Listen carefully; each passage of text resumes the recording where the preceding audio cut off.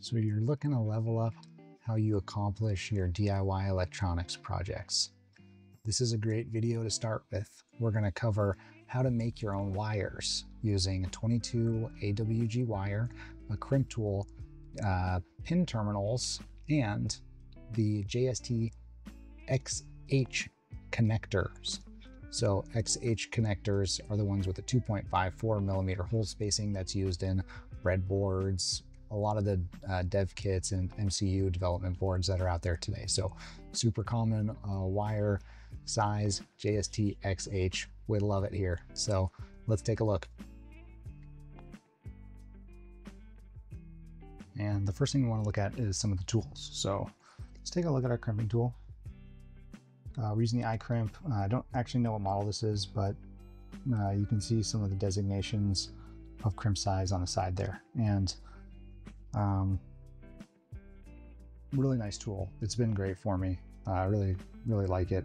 Uh, super easy to use. I get good crimps out of this, this tool here. I generally use 22 AWG wire for the JST XH connectors. And I found this stuff is super nice. It's got the super flexible silicone wire uh, sheath on the outside and it's stranded. So uh, it is quite flexible, it's quite strong, and it's worked really well for a lot of projects for me. So I'm gonna continue, continue buying this stuff readily available on Amazon. I think they sell boatloads of this stuff. Um, you can also use 20 AWG if you want to uh, run a little bit more amperage through one of these connectors, or if you need to run a longer uh, signal wire. Okay, now we're going to talk about the pin terminals and the anatomy behind the pin terminals. So um, it's important to kind of know so you can understand what's happening with the crimp tool. So let's take a look. First of all, pin terminals can come like this on these uh, metal bands. They can also just come in these little baggies.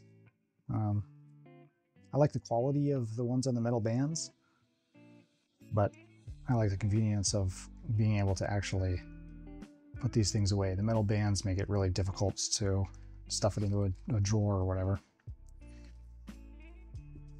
Connectors, those all just come in baggies anyway. So let's take a look at one of these pin terminals here so you can see exactly what's going on. And this is going to take some zooming because these are pretty small. Okay, so here is the pin terminal. And as you can see, very small. The male pins go in on this side. Your wire comes in on this side. And as you can see, this has two sets of tabs, one in the back, the other one in the middle here. And those will actually fold over onto the wire.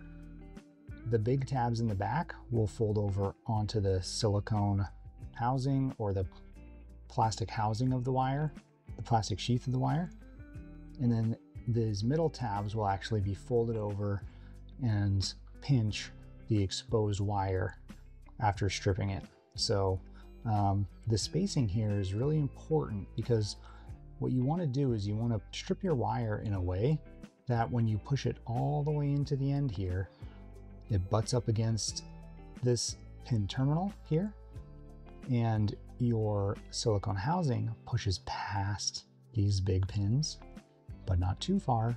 You don't want it to push into the area where these middle pins will be crimping onto the exposed wire. Okay, so now how does this work with the crimping tool? You can see these crimping tools have kind of a shelf halfway through the crimping portion.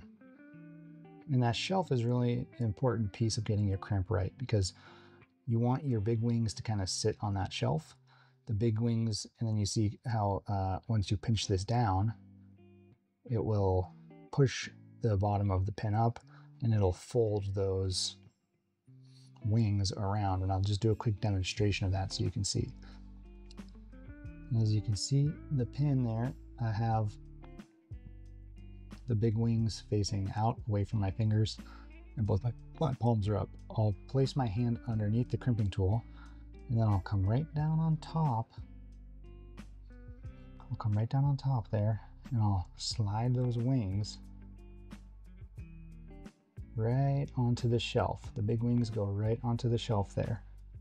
And then usually you just click it once and that sets the pin in place and it will, uh, you can set the crimp tool down so you can grab your wire or whatever and prepare your wire. But I want to show you, let's see if we can see it here. Let me zoom in how this works when it pinches the tool down. So the middle tabs are up against uh, the metal in the middle, larger tabs here. So when we pinch this down,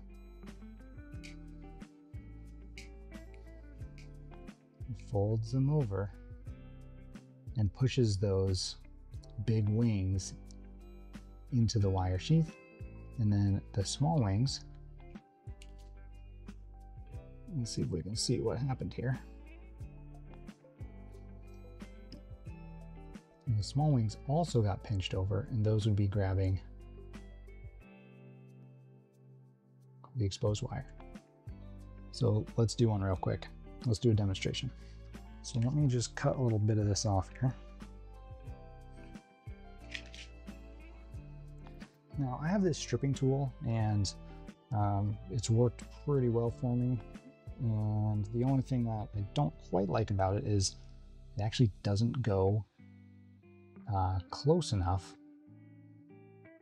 to the to the crimping bits, or not the crimping bits, to the stripping teeth, so that it will uh, strip less material. So what I have to do with this one to get the right amount of wire exposed is first move this black adjustable thing to its lowest setting, butt the wire up against it, and then pull it off ever so slightly. And as you can see, it's just such a small amount of wire that's that's left over. It wasn't a great pinch uh, strip because it's looking somewhere else. Let me redo that real quick here. There go, that's better. It's just such a small amount of wire. And then always good practice is just give a little twist here. You're not gonna be able to twist it much because there's just not enough wire exposed. But now let's load up one of these pin terminals. Okay. Okay, there we go. I'm holding it with the fat wings, the big wings facing away from my fingers. And I'm gonna bring the crimping tool right down on top. And I'm just gonna set those large wings on the shelf that's in there and click the crimping tool once. There we go. Now, what I like to do is rest my fingers on top of the crimping tool as I put the wire in. That's going to help just stabilize it. And you want to push this wire in pretty much as far as it will go. Let's see if I can get a different angle here so it's a little bit more visible for you. I'm going to push the wire in as far as it'll go. And you'll feel it stop uh, this takes a little bit of feeling to get used to. And then you're going to want to just crimp it all the way down. The tool will release. And then you can pop the wire out from the other side. So let's take a look and see if this is a good crimp or a bad crimp. Let me zoom in. This looks to be a very nice crimp. And I can say that because the large wings have gripped the silicone sheath. And they haven't gone too far, and then the small wings have gripped onto the wire without grabbing onto any of the silicone sheath. So that's a nice crimp right there. And you can see on the back of this terminal housing here that there is a little wing that sticks up. See that little ramp looking wing that sticks up there? That little ramp you're going to want to click that into, line it up with one of these holes here and click it into one of those holes. So let me do that real quick here, see if we can do that on camera. And this is takes a little bit of feel as well, but you'll also feel that click into place when it, oh, missed it a little bit, but there we go. Give it a little tug to make sure that it's nice and secure. And that's it. So you would do that a couple more times uh, based on how you want your wires laid out. That's all you have to do to crimp and create your own JST XH wire connectors. And that will make it very, very easy to solder some pins onto your Aztec platform project board. You saw them on the back side there. Uh, I like to pull these little black pieces off. It just exposes a little bit more of the pins so you can use them. Uh, sometimes it makes a better connection. And then as you can see, these connections become really easy. You just plug them in like that. Really solid. And you can opt to just uh, use the exposed wires there like this board has, or you can opt to, like we showed earlier, put in a put in a header like that. And then you'd be able to slide your female into the male header there, click it into place, and you'd be good to go.